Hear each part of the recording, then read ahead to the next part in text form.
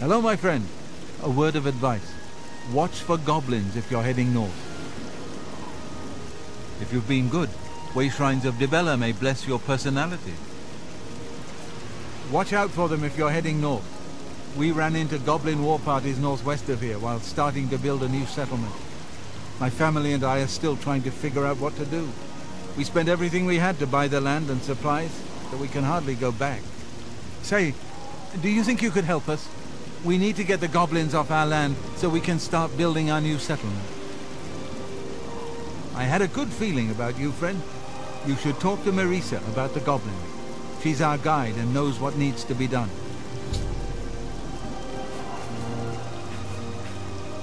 She's a wilderness guide we hired to lead our expedition to Cropsford. Saved our lives when the goblins attacked. It's northwest of here along the Yellow Road. You'll see some of our supplies near the road where we left them when the goblins attacked. We plan to call it Cropsford. My daughter Kalia, her husband Aloys and I came all the way from High Rock to start a new life here. We have a charter from the county. Everything done official and by the book. I'm sure now that they knew all along that the hand was in Goblin territory. But no matter. Who cares if a few settlers get themselves killed?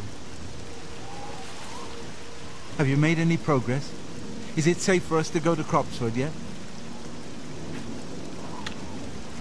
Take care, friend. Don't get yourself killed on our account. How good. You've got Hello. some... Well met. Come, warm yourself by our fire.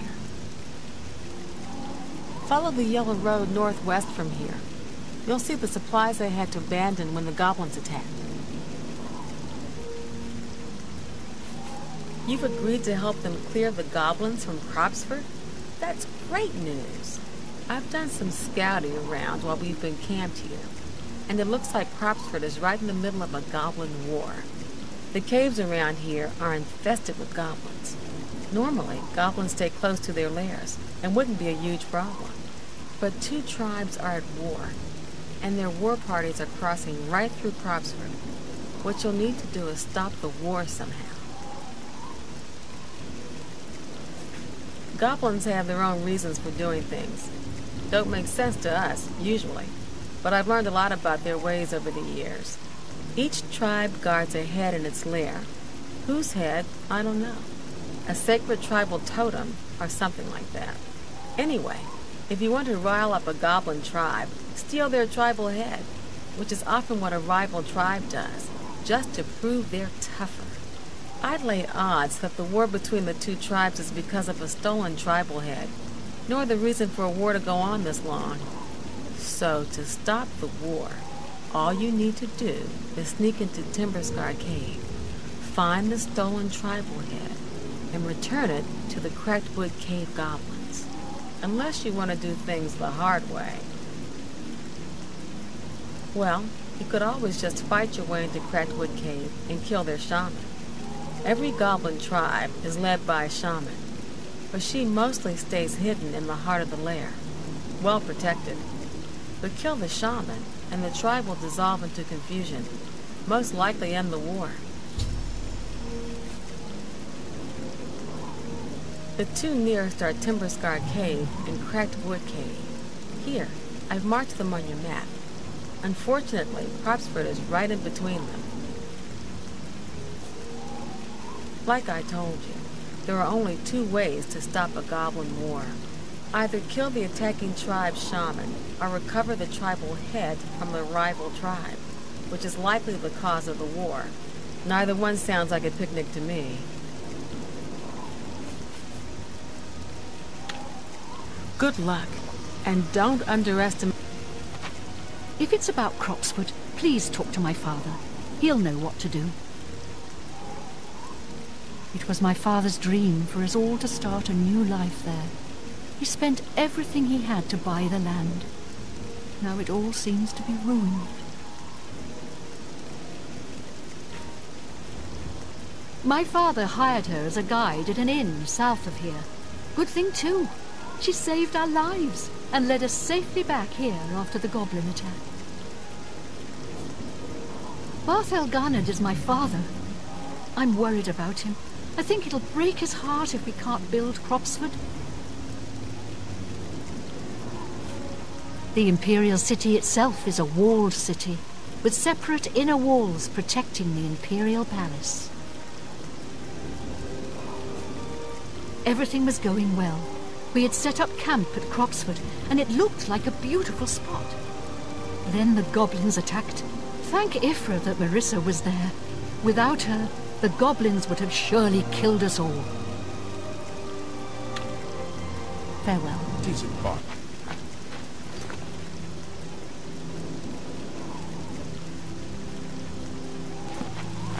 I've heard others say the same.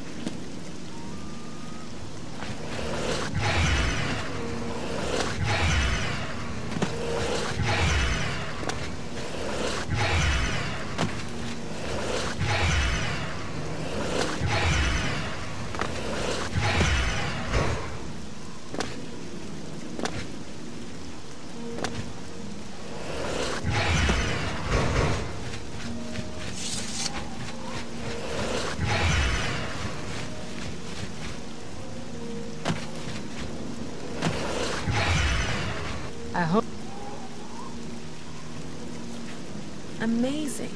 You actually swiped the stolen head right out of Timberscar Cave? Ha!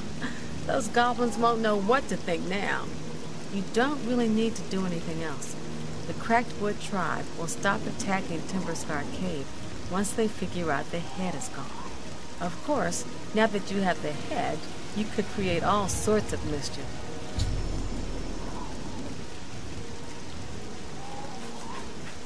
Well, for instance, you could give it to any other goblin tribe. They'd boast about it, just as if they won it in a war. And pretty soon the Crackwood tribe would launch war against them. I'm not sure if the Cropsford settlers would be all too pleased about you stirring up a new goblin war, though.